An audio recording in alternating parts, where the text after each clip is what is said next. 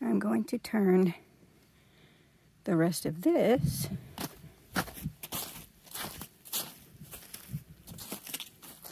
into water, hopefully.